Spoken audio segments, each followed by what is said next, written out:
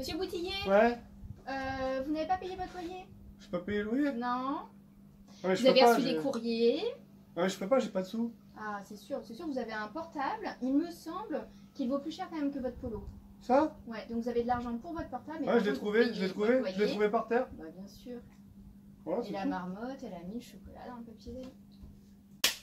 Bonjour Bonjour. à tous Salut à tous, bienvenue dans cette nouvelle vidéo. Où je suis en présence de... Laurent Boutillier, est-ce nécessaire de me présenter? Je ne sais pas, je pense que là, beaucoup Et je suis en présence de... Woman Invest. De quoi on va parler aujourd'hui?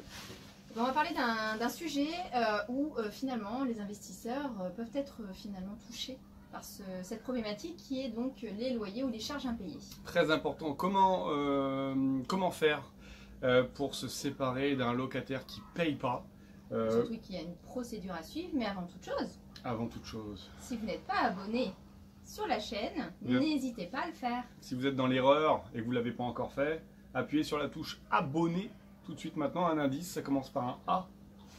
Et activez la petite cloche qui fait plaisir, qui va vous permettre de pouvoir recevoir les vidéos avant tout. Exactement. Donc, euh, pour revenir sur le sujet, donc euh, en effet, on va parler aujourd'hui des, des loyers euh, ou des charges impayées. Et en effet, le non-paiement de ces fameux loyers permettent aux propriétaires de bailleurs de rompre le bail, et ce avant la date d'échéance. Mais par contre, il faut bien sûr euh, suivre une procédure. Euh, on ne fait pas euh, des changements, enfin des, des- des changements de locataire, ou on ne sort pas un locataire comme ça du jour au lendemain. Il faut l'avoir prévu dans le contrat de bail qui lie le propriétaire bailleur au locataire avec une clause résolu- Résolutoire. résolutoire Toi, qui va nous permettre de pouvoir s'appuyer dessus et engager une procédure. Exactement. La procédure, elle commence comment? Donc il y a trois points. La première, c'est la mise en demeure. D'accord. La mise en demeure, elle peut se faire de trois façons différentes. La première, c'est d'envoyer une lettre en recommandé. Alors, au bout de combien de temps la mise en demeure? Alors, bien évidemment. euh, J'ai mon loyer qui doit tomber le 5 du mois, on est le 6, je fais une mise en demeure. Non. J'attends un peu. euh, C'est ça. Le 7. On attend un mois, bien évidemment. Euh, On peut commencer finalement à envoyer cette mise en demeure euh, au bout d'un mois. D'autant plus, euh, si vous avez tenté euh, d'être en contact avec ce fameux locataire, vous n'avez pas de nouvelles, vous n'avez pas eu d'arrangement, voilà, il faut acter les choses euh, sur papier. Donc c'est d'envoyer en AR donc une mise en demeure au locataire. On vous conseille également de le faire en courrier simple. Ouais, il faut le faire parce que les, les locataires, ils, ont déjà des problèmes. C'est-à-dire qu'ils payent pas votre loyer, mais ils payent pas aussi peut-être euh, l'eau, ils payent pas euh, la mutuelle, ils payent pas, bref. Donc ils vont plus chercher leur recommandé. Donc si vous faites un recommandé, vous allez dépenser de l'argent, vous allez vous protéger, mais vous en aurez pas. Recommandé plus envoi simple aux locataires et aux garants. Ah oui, au garant, euh, ça c'est important. Que souvent, nous, quand ça nous est arrivé en tout cas, euh, bah, une fois l'avoir envoyé également au, euh, à la personne Ça qui s'est portée euh, garante, voilà, ça fait bouger. Il n'y a pas besoin d'aller aux étapes 2 et 3. C'est clair. Alors, par contre, si toujours pas de retour, pas de nouvelles, que bah, finalement le locataire n'a toujours pas cherché à vous contacter en tant que propriétaire bailleur, dans ces cas-là, on a le commandement de payer. Exact. Alors, on a dit euh, lettre recommandée simple. On peut aussi euh, le faire faire par un huissier. Oui, bien sûr. Ah, C'est-à-dire qu'on peut, on peut nommer un huissier, donc vous appelez l'huissier qui se trouve euh, dans votre village ou dans votre ville, et vous dites voilà, je voudrais faire un- un- une mise en demeure. L'huissier va taper cette mise en demeure, ça vous en coûtera entre 150 et 200 euros, alors qu'un recommandé ça coûte euh, 8 euros. Mhm. Mais euh, ça peut aussi avoir un, un- un- un effet pour certains locataires de dire waouh, il y a un huissier. Quoi. Parce que Ça fait peur. voilà, quand un huissier vient, quelquefois euh, on se dit bon, c'était soit je payais euh, le loyer, ou soit j'allais quatre fois au restaurant. C'est un petit loyer, hein. Et c'est des gros restaurants. Le fait d'avoir un huissier à sa porte, ça peut aussi faire réfléchir. Donc, recommander plus simple ou huissier. Exactement. Donc après, voilà, si toujours pas de nouvelles, commandement de payer. Auquel cas, bon bah là, on n'a pas le choix. Euh, là, c'est forcément via la voie d'un huissier. Yes. à qui on, donc on donnera un dossier, euh, le contrat de location, bien sûr, et puis l'état des dettes. Hein, ça, ça va de soi.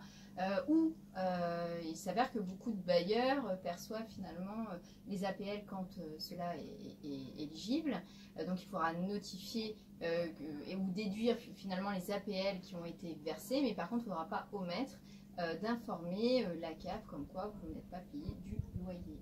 Auquel cas, deuxième effet qui se coule, on ne sera plus payé par la CAF non plus. Ben voilà. C'est normal. En parce attendant qu'il y ait un arrangement. On rentre en litige, donc forcément la CAF ne verse plus. Mais c'est obligatoire. hein. En tant que propriétaire, vous devez absolument les informer. Sinon, au moment du jugement, ça pourrait être rembourser les sommes, amende. euh, C'est un peu compliqué en tant que propriétaire de ne pas avoir informé. Le commandement de payer, c'est la demande au locataire de s'acquitter de toutes les dettes qu'il a.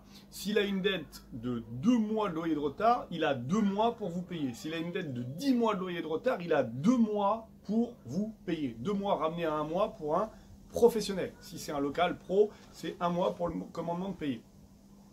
Ce qui veut dire qu'il a 2 mois pour vous payer la totalité ou se mettre d'accord avec vous euh, sur un échéancier. On imagine qu'il nous doit 3000 euros. Et ben, s'il vous dit pendant 10 mois, je vous donne 300 euros en plus de mon loyer actuel, si vous semblez que la situation est tenable, parce qu'il ne s'agit pas de simplement de dire je le fais, il le fait un mois, après il le fait plus et vous recommencez la procédure.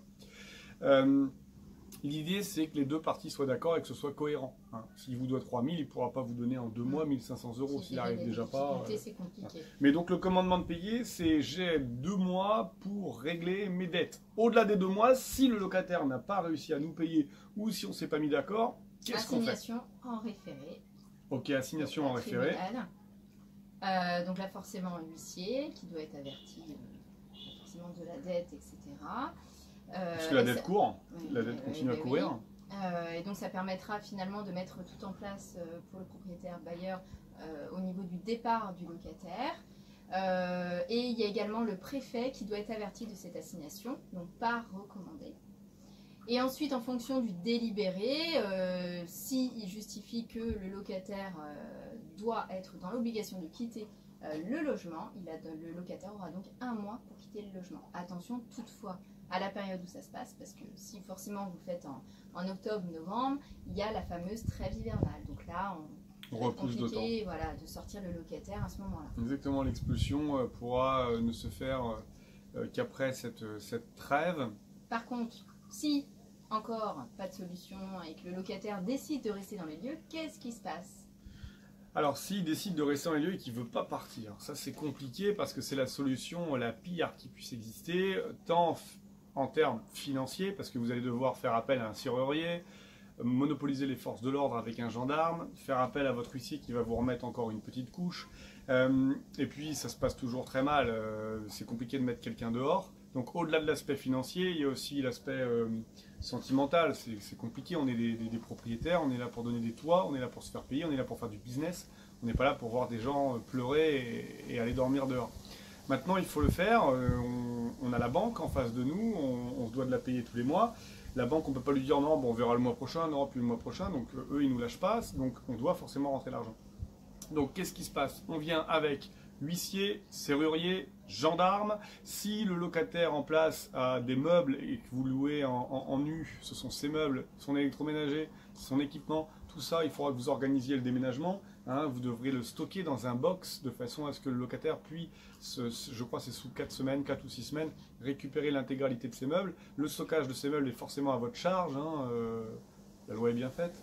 Euh, et puis là, vous récupérerez les clés et vous aurez la possibilité de pouvoir faire vos travaux euh, pour le remettre en état, puisque généralement le locataire part, c'est pas forcément très propre, hein, il n'a pas décidé de partir, et puis le remettre ensuite en, en- en location. Donc ça peut prendre un petit peu de temps, et puis c'est surtout euh, euh, moralement, psychologiquement euh, compliqué de, de- de- de mettre quelqu'un dehors. hein. On a tous un cœur, on se met tous à un moment donné à la place de l'autre, et, et quelqu'un qui part pas et qui se fait sortir de son bien, c'est forcément quelqu'un qui n'a pas de solution B, qui n'a pas de plan B, qui n'a pas trouvé, ou voilà, et quelquefois il y a aussi des gens qui ne font pas exprès, hein. il y a aussi des gens où- pour qui c'est compliqué, et ça peut être difficile. Mais je vous dis encore une fois, on a la banque en, en face de nous. Donc euh, expulsion. Maintenant, ne vous inquiétez pas, on vous a parlé euh, de la mise en demeure, euh, du commandement. Déjà, après la mise en demeure, souvent déjà, les problèmes sont résolus.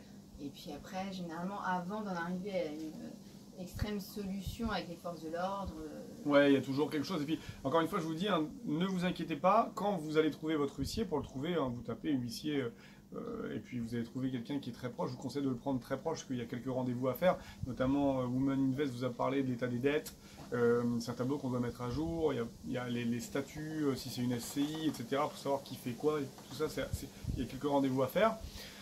L'huissier vous demandera une provision sur charge, vous, devrez le payer en, provision de tous les actes qu'il va pouvoir établir. hein. Euh, on parlait de- des référés, donc il y a une assignation, donc il y a un acte à, réaliser. Euh, C'est une procédure qui est normée. Euh, et puis, si le locataire décide de payer, euh, miracle, il décide de payer, il paiera directement à l'huissier et l'huissier vous, fera ensuite un virement déduit de 20% qui correspondent donc euh, à ses frais, hein, puisqu'il aura travaillé pour vous, il aura récupéré l'argent, il garde 20% pour lui, 80% pour vous, et vous pourrez, si la dette a été honorée, le locataire restera en place et puis vous repartirez comme en 40, j'ai envie de dire, hein, ça repart avec une petite solution. Il y a aussi des situations qui se qui Solution. s'arrangent. Mm. hein. Moi, j'ai toujours pour habitude de dire que quand un locataire paye plus et que ça part euh, mise en demeure, référé, etc., on reverra plus les loyers. Par contre, ce qu'on veut, c'est récupérer le logement. Voilà, le plus vite possible. On récupère le logement, on s'assoit sur les loyers, c'est terminé, on a joué, on, a perdu cette fois-ci, et on passe à autre chose. hein. Souvent, on joue, on gagne. Quelquefois, on joue, on perd. hein. Il n'y a que les gens qui ne jouent pas, qui ne perdent pas. Voilà, clairement. Donc, faut- ça fait partie du décor. L'huissier fait partie du décor quand on fait de l'immobilier, au même titre que le radar fait partie du décor quand on prend la voiture. Ça fait partie du jeu, j'ai envie de dire. Bon bah voilà, Si vous avez apprécié cette vidéo, n'hésitez pas à mettre un pouce vers le haut, parce que vers le bas, nous, on kiffe pas du tout. non on n'aime Euh, pas. vous abonner. On vous a mis un petit lien dans la description si vous voulez passer à l'action et avoir tous ces conseils car on les développe dans la formation ImoCash, dans le club ImoCash Pro. On développe tous ces conseils de façon beaucoup plus détaillée. On prend le temps de tout vous expliquer. Est-ce que tu peux nous dire comment ça se passe là, euh, de venir dans le club ImoCash Pro? Alors, c'est déjà l'accès au groupe WhatsApp Yes. où il y a beaucoup d'investisseurs, novices et moins novices. Donc, il y a un partage, on va dire limite H24 et je peux vous dire que c'est assez animé. Ensuite, il y a du coaching groupé Coaching une groupé. fois par mois et ce pendant 12 mois.